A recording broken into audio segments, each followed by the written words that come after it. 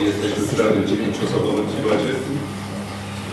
Jest za przyjęciem zaproponowanego projektu uchwały autopoprawką. Ja rozumiem, to będzie wtedy druk 331a.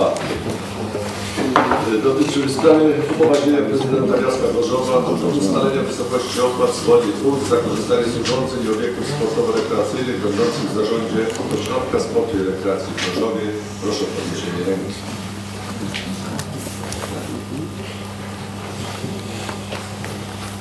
Kto jest przeciwny?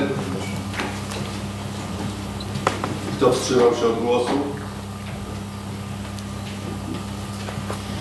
W tym układzie projekt uchwały zyskał pozytywną opinię komisji. Dziękuję bardzo. Y, W tym miejscu chciałbym przejść jeszcze do pewnych zaległości, które mamy z sesji, która odbyła się w Bibliotece, Wojewódzkiej Miejskiej Bibliotece Publicznej 19 marca.